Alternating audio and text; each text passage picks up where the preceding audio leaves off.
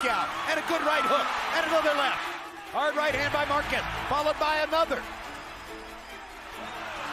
Pacquiao with a right hook, Marquez with a left hook.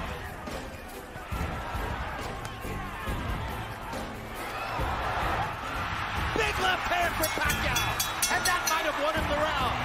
What a tremendous round. The crowd's on its feet. We've got a fight in Vegas. Marquez is very conservative here in the final round of a close fight.